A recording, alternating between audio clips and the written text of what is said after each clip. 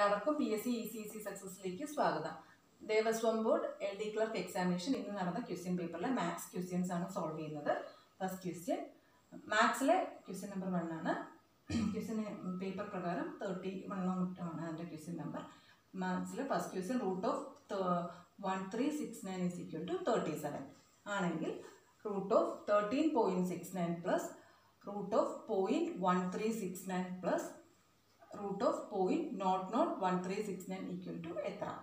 അപ്പോൾ thirteen point six നയന്റെ root thirty seven ആണെങ്കിൽ root of thirteen point thirty one three six നയന്റെ root thirty seven ആണെങ്കിൽ thirteen point six നയന്റെ root എന്ന് പറയുന്നത് ത്രീ പോയിന്റ് സെവൻ ആയിരിക്കും. എങ്കിൽ ത്രീ പോയിന്റ് സെവൻ സ്ക്വയർ ചെയ്യുമ്പോൾ അതിൽ ടു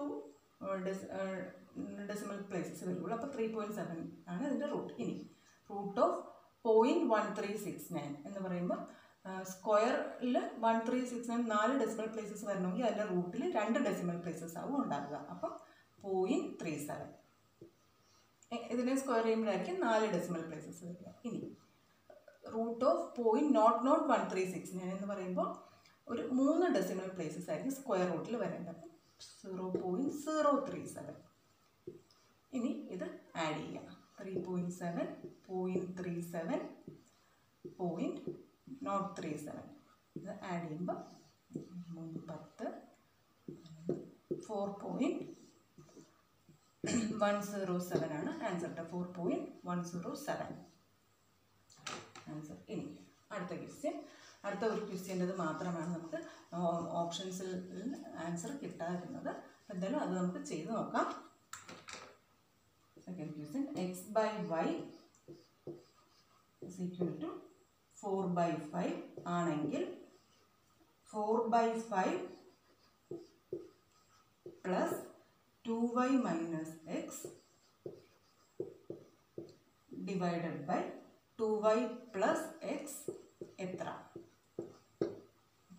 ടു നമുക്ക് വൈയുടെ ടേംസിലേക്ക് എക്സിനെ കൊണ്ടുവരാം. അല്ലെങ്കിൽ എക്സിന്റെ ടേംസിലേക്ക് വൈയെ കൊണ്ടുവരാം.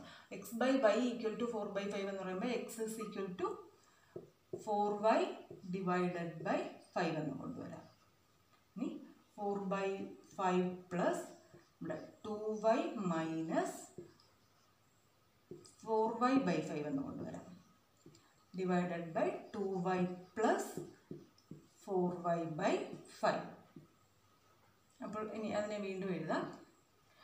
ഇവിടെ സ്പേസ് ഇല്ലാത്തതുകൊണ്ട് ഞാൻ ഇവിടെ തന്നെ ഇങ്ങനെ എഴുതുകയാണ്. Two y minus four y by five എന്ന് പറയുമ്പോൾ ഫൈവ് ഇങ്ങോട്ട്. Ten y minus four y by five അതായത് സിക്സ് ബൈ ബൈ ഫൈവ് എന്ന് നമുക്ക് ഈ ന്യൂമറേറ്ററിനെ നമ്മൾ എൽ സി എം വെച്ച് സിംപ്ലിഫൈ ചെയ്തതാണ്. സിക്സ് ബൈ മൈനസ് ഫൈവ് എന്ന് നമുക്ക് ഈ ന്യൂമറേറ്ററിനെ കൊണ്ടുവരാം.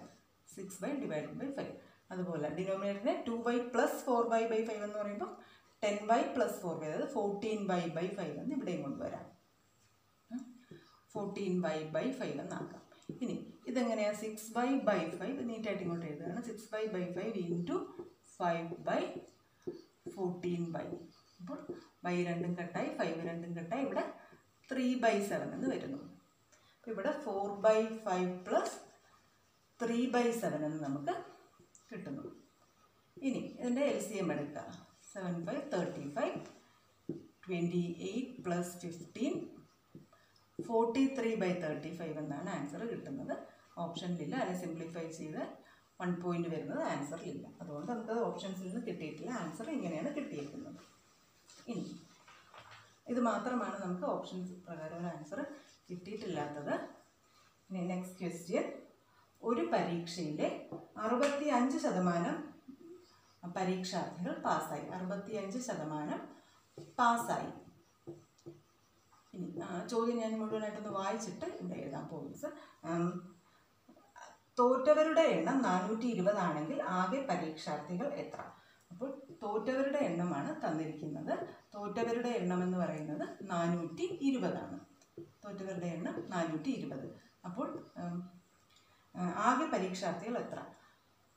അപ്പോൾ അറുപത്തിയഞ്ച് ശതമാനം പാസ്സാകുന്ന തോറ്റവരുടെ ശതമാനം എത്രയായിരിക്കും? നൂറ് മൈനസ് അറുപത്തിയഞ്ച് അതായത് മുപ്പത്തിയഞ്ച് ശതമാനമാണ്.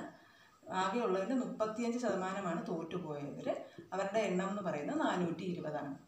അപ്പോൾ ആകെ എണ്ണം എന്ന് പറയുന്നത് എത്രയാണ്? ഇത് ഞാൻ ക്രോസ് മൾട്ടിപ്ലൈ ചെയ്യാം നാനൂറ്റി ഇരുപത് into hundred by thirty five cap eight thousand four hundred cancel ചെയ്ത് നോക്കിയാൽ മതി. Eight thousand four hundred by seven വരും. അതായത് ആയിരത്തി ഇരുന്നൂറ് ഉത്തരം അത് സിമ്പിൾ സിംപ്ലിഫൈ ചെയ്യാൻ എളുപ്പത്തിൽ ആയിരത്തി ഇരുന്നൂറെന്ന് ഉത്തരം കിട്ടുന്നു.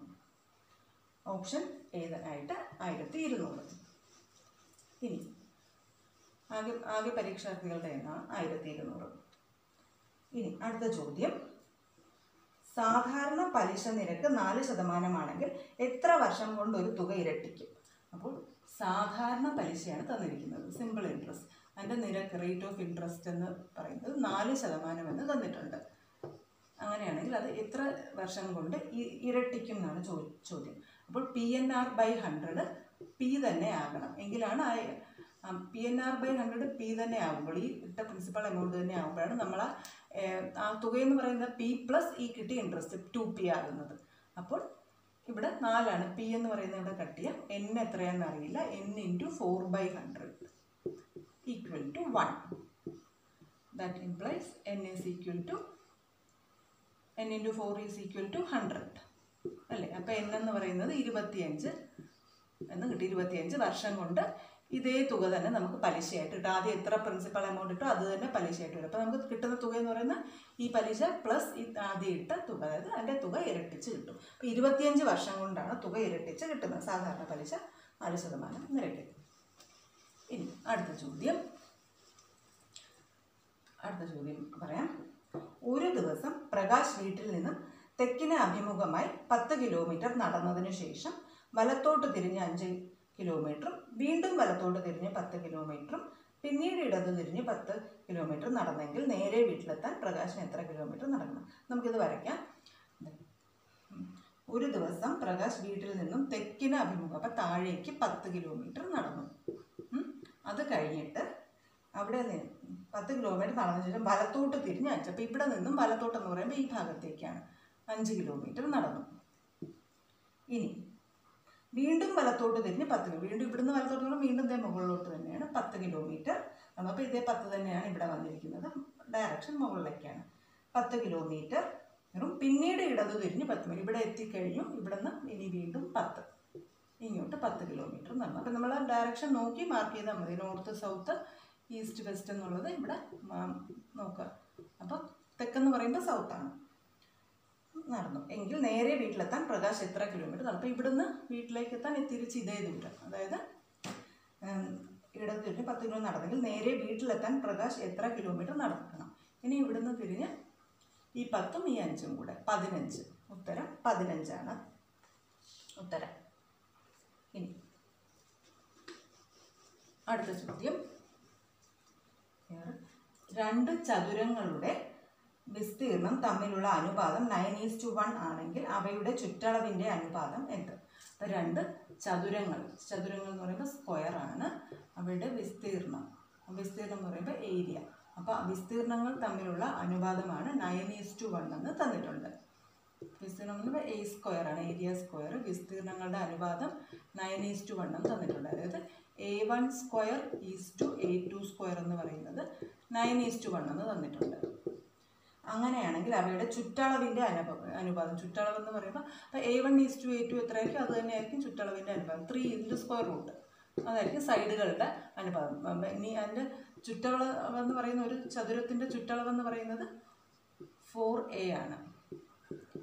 ഫോർ എ അപ്പോൾ ഒരു റേഷ്യോയെ കോൺസ്റ്റന്റ് വെച്ച് മൾട്ടിപ്ലൈ ചെയ്യുമ്പോൾ അതിന്റെ ഇതിൽ വ്യത്യാസം വരുന്നില്ല. അതുകൊണ്ട് തന്നെ ത്രീ ഈസ് ടു വൺ തന്നെയായിരിക്കും ഉത്തരം. ഉത്തരം ത്രീ ഈസ് ടു വൺ ഇനി അതിന്റെ ഉത്തരം ത്രീ ടു വൺ അടുത്ത ചോദ്യം. രണ്ടാമത് അക്ഷരാനുക്രമങ്ങൾ സെലക്ഷൻ സെലക്ഷൻ എന്നതിനൊരു കോഡ് തന്നിട്ടുണ്ട്. സെലക്ഷൻ ശ്രദ്ധിച്ചിരിക്കുക സെലക്ഷൻ അതിന്റെ code Q C J C A R G M L എന്ന് തന്നിട്ടുണ്ട്. അങ്ങനെയെങ്കിൽ ആണെങ്കിൽ അമേരിക്കൻസ് എങ്ങനെ എഴുതാം? അപ്പോൾ അമേരിക്കൻസ്. ഈ കോഡ് എങ്ങനെയാണ് പോയിരിക്കുന്നത് നോക്കാം. അതനുസരിച്ച് എഴുതാം. അപ്പോൾ ഇവിടെ എസ് എന്ന് ക്യു ആർ എസ് എസ് കഴിഞ്ഞിട്ട് രണ്ട് ആൽഫബറ്റ്സ് ബാക്കാണ് ആണ്. കോഡിൽ കൊടുത്തിരിക്കുന്നത്. അപ്പോൾ ഇവിടെ അതുപോലെ ഇ കഴിഞ്ഞ് രണ്ട് ആൽഫബറ്റ്സ് ബാക്കിലാണ് സി എല്ലിന്റെ രണ്ട് ആൽഫബറ്റ്സ് ബാക്കിലാണ് ജെ എഗിൻ ഇ തന്നെ. അതുപോലെ സിയുടെ രണ്ട് ആൽഫബറ്റ്സ് ബാക്കിലാണ് എ ടിയുടെ രണ്ട് ആൽഫബറ്റ്സ് ബാക്കിലാണ് ആർ ഐയുടെ രണ്ട് ആൽഫബറ്റ്സ് ബാക്കിലാണ് ജി ഒയിൽ നിന്നും രണ്ട് ആൽഫബറ്റ്സ് ബാക്കിലാണ് എം എന്നിന്റെയും രണ്ട് ആൽഫബറ്റ്സ് ബാക്കിലാണ് എൽ അപ്പോൾ ഇതേ രീതിയിൽ എടുക്കുക രണ്ട് ആൽഫബറ്റ്സ് ബാക്കിലേക്ക് വിടുക എ മൈനസ് ടു ചെയ്താൽ വൈ വരും. ഇനി എമ്മിന് എമ്മിന് പകരം കെ അതുപോലെ ഇക്ക് സി നമുക്ക് ഇവിടുന്ന് തന്നെ അത് കിട്ടും. ഇക്ക് സി ഇനി ആറിന് പി ക്യു ആർ എന്നാണല്ലോ പോകുന്നത്. അപ്പോൾ ആറിന് മൈനസ് ടു പി ഇനി ഐക്ക് ഇവിടെ തന്നെ കിട്ടി ജി സിക്ക് വീണ്ടും എ എക്ക് വീണ്ടും വൈ എന്നിന് ഇവിടെ തന്നെ കിട്ടി എൽ എസിന്റെ ഇവിടെ തന്നെ കിട്ടി Q answer Y K C P G A Y L Q അതാണ് ആൻസർ സോ കെയർഫുള്ളായിട്ട് തന്നെ നോക്കി എഴുതുക. അതിൽ ജസ്റ്റ് പ്രസൻസ് ഓഫ് മൈൻഡാണ് വേണ്ടത്. ഇനി അടുത്ത ക്വസ്റ്റ്യൻ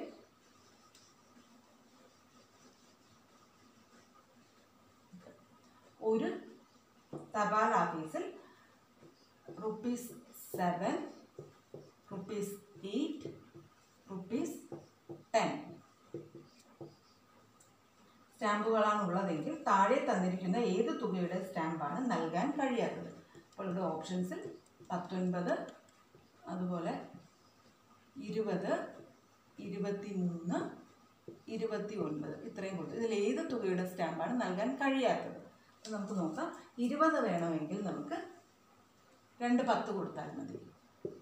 ഇനി ഇരുപത്തി മൂന്നാണെങ്കിൽ ഏഴ് പിന്നെ എട്ട് വീണ്ടും ഒരു എട്ട്. അപ്പം നമുക്ക് ഏഴ് എട്ട് പതിനഞ്ച് എട്ട് ഇരുപത്തി മൂന്ന് ഇനി ഇരുപത്തി മൂന്ന് വേണമെങ്കിൽ ഒരു ഇരുപത്തി മൂന്ന് മൂന്ന് ഏഴ് കൊടുത്തിട്ട് അതിന്റെ കൂടെ ഒരു എട്ടും കൂടെ എടുത്ത് ഇരുപത്തി ഒൻപത് കിട്ടും. കിട്ടാത്തത് പത്തൊൻപതാണ്. ഉത്തരം പത്തൊൻപത്. ഇനി അടുത്ത ചോദ്യം. ചോദ്യം വലുതാണ് പറയാം വായിക്കാം. ഒരു ഗ്രൂപ്പിലെ ഇരുന്നൂറ്റി പത്ത് വിദ്യാർത്ഥികൾ ഒരു പരീക്ഷയ്ക്ക് എത്തി. അതിൽ മൂന്നിലൊന്ന് വിദ്യാർത്ഥികളുടെ ശരാശരി മാർക്ക് അറുപതും ബാക്കിയുള്ളവരുടെ ശരാശരി മാർക്കും എഴുപത്തി ശരാശരി മാർക്ക് എഴുപത്തി എട്ടും ആണെങ്കിൽ ആ ഗ്രൂപ്പിലെ മൊത്തം വിദ്യാർത്ഥികളുടെ ശരാശരി മാർക്ക് എത്ര? അപ്പോൾ ഒരു ഗ്രൂപ്പിലെ ഇരുന്നൂറ്റി പത്ത് വിദ്യാർത്ഥികൾ അതിൽ മൂന്നിലൊന്ന് വിദ്യാർത്ഥികളുടെ ശരാശരി. അപ്പോൾ ഇരുന്നൂറ്റി പത്തിന്റെ മൂന്നിലൊന്ന്. അതായത് എഴുപത്. എഴുപത് പേരുടെ ശരാശരി എന്ന് പറയുന്ന അറുപതാണെങ്കിൽ എഴുപത് പേരുടെ ടോട്ടൽ എന്ന് പറയുന്നത് എത്രയായിരിക്കും? എഴുപത് ഇന്റു അറുപത്. അവരുടെ ശരാശരി അറുപതെന്ന് തന്നിട്ടുണ്ട്. അപ്പം ടോട്ടൽ എഴുപത് ഇന്റു അറുപത് നാലായിരത്തി ഇരുന്നൂറ്. ശരാശരി അറുപതെന്ന് തന്നിട്ടുണ്ട് ഇവിടെ. ഇതിന്റെ ശരാശരി അറുപതെന്ന് തന്നിട്ടുണ്ട്.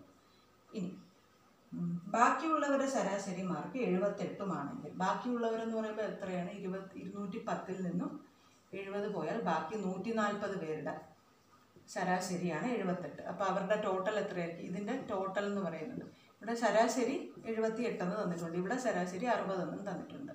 അപ്പോൾ ഇവിടുത്തെ ടോട്ടൽ എന്ന് പറയുന്നത് നൂറ്റി നാൽപ്പത് ഇന്റു എഴുപത്തെട്ട്. പാസ് മൾട്ടിപ്ലിക്കേഷൻ ചെയ്താൽ മതി. എഴുപത്തെട്ട് ഇന്റു പതിനാല്. ടു സീറോ എന്ന് കിട്ടും ടോട്ടൽ ഇനി ആണെങ്കിൽ ആ ഗ്രൂപ്പിലെ മൊത്തം വിദ്യാർത്ഥികളുടെ ശരാശരി ആഡ് ചെയ്യാം. One zero nine two zero plus four thousand two hundred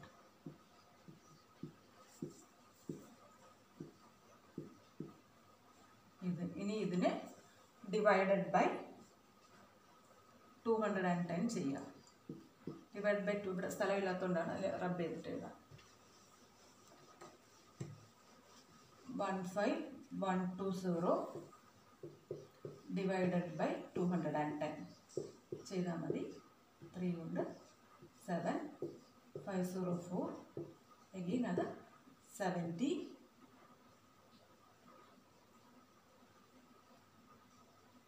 seventy two എന്ന് കിട്ടുന്നു. Fourteen seven seven sir fourteen seventy two answer seventy two എന്ന് കിട്ടുന്നു. ആൻസർ സെവന്റി ടു ആണ്. അടുത്ത ലാസ്റ്റ് പൂരിപ്പിക്കുക. ഏഴ് ഇത് എളുപ്പമുള്ള നമ്മൾ പല പ്രാവശ്യം ചെയ്തിട്ടുള്ള ഒരു സീരീസ് ആണ് തന്നിരുന്നത് അറുപത്തി മൂന്ന് നൂറ്റി ഇരുപത്തി നാല് ഇരുന്നൂറ്റി പതിനഞ്ച് മുന്നൂറ്റി നാൽപ്പത്തിരണ്ട് അങ്ങനെ പോകുന്ന ശ്രീ ഇതിലെ അടുത്തത് ഏതാണെന്നാണ് ചോദ്യം. അപ്പോൾ ഇത് കാണുമ്പോൾ നമുക്കറിയാം ഓപ്ഷൻസിൽ അഞ്ഞൂറ്റി പതിമൂന്നുണ്ട് അതുപോലെ അഞ്ഞൂറ്റി നാനൂറ്റി പതിനൊന്നുണ്ട് അഞ്ഞൂറ്റി പതിനൊന്നുണ്ട് അഞ്ഞൂറ്റി പന്ത്രണ്ട്. അപ്പോൾ ഇത് കാണുമ്പോൾ മനസ്സിലത് ഇതെല്ലാം ക്യൂബിന്റെ അടുത്താണ്. ടു ക്യൂബ് മൈനസ് വൺ ആണ് സെവൻ. അതുപോലെ three cube minus one four cube minus one five cube minus one six cube minus one seven cube minus one ഇങ്ങനെയാണ് പോകുന്നത്. Sixty four minus one one twenty five minus one two sixteen minus one three fifty അപ്പോൾ അടുത്തത് എത്രയാണ് five twelve minus one ആയ five hundred and eleven eight cube minus one five hundred and eleven ആണ് answer answer five hundred and eleven അപ്പോൾ ഇത്രയുമാണ്. ഇനി answer key നോക്കി എന്തെങ്കിലും വ്യത്യാസം ഉണ്ടെങ്കിൽ മറ്റൊരു വീഡിയോയിൽ അത് ചെയ്യുന്നതാണ്. ഇത്രയുമാണ് മാത്സ് ക്വസ്റ്റ്യൻസിന്റെ ആൻസേഴ്സ് ബാക്കി ക്വസ്റ്റ്യൻസ് ആൻസർ കീ നോക്കി മറ്റൊരു വീഡിയോയിൽ അപ്ലോഡ് ചെയ്യാം. മാത്സ് ക്വസ്റ്റ്യൻസ് ഇത്രയുമാണ്. അടുത്ത ക്ലാസ്സിൽ വീണ്ടും കാണാം. താങ്ക്